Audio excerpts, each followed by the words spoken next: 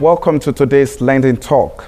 My name is Reverend Niyi Amusan, priest of the Diocese of Lagos West Anglican Communion. Let us pray. Spirit of the living God, we ask that you give utterance for your word to be preached. And uh, give us faith as well in our hearts to receive the same. This we ask in Jesus' mighty name. Amen. The theme for this short exhortation is God the Avenger. God the Avenger.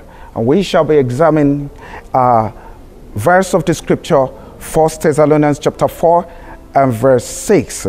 It says, That no man go beyond and defraud his brother in any matter, because the Lord is the avenger of such, as we also have forewarned and testified. Who is an avenger? An avenger is one who exacts punishment or inflict harm in return for an injury or wrong. And this is who God is to his people. Here we saw Apostle Paul admonishing the brethren, the Thessalonians, to be weary of robbing, cheating, and defrauding others, warning them that God is the avenger.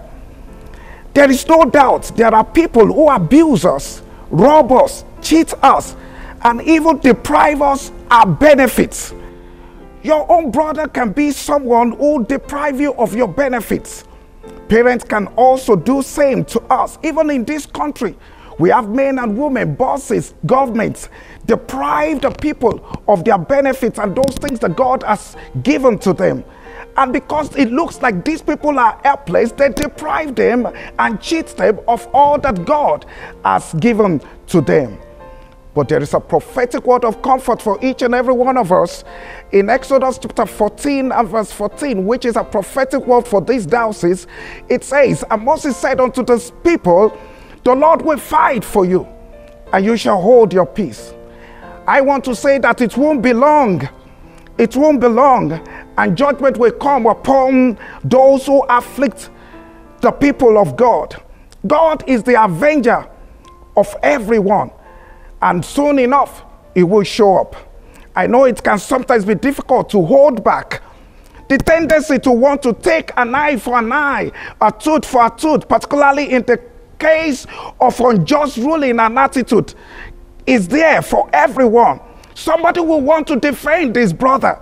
Somebody will want to defend himself. But that's not the case for this year. The Lord said He is fighting our battles for us. The truth is this that the faithful and the honest are easily taken advantage of, but He will give to everyone according to His work.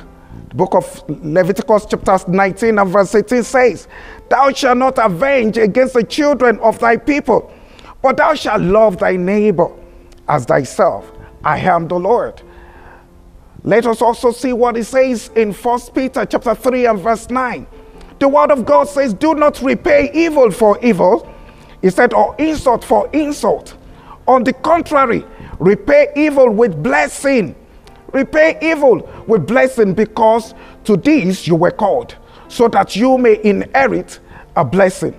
The truth is, God has a way of turning things around for good for those who are his.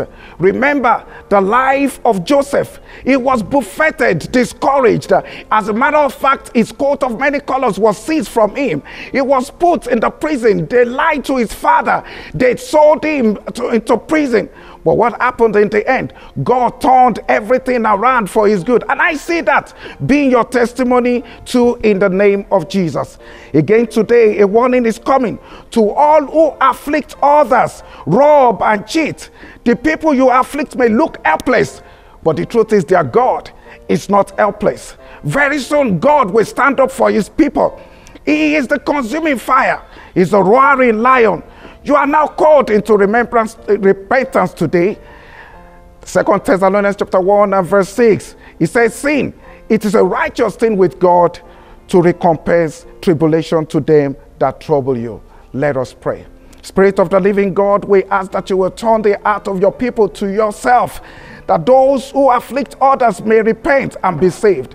And those who have been afflicted, you will give them comfort on every side to the glory and honor of your name. In Jesus' mighty name, amen.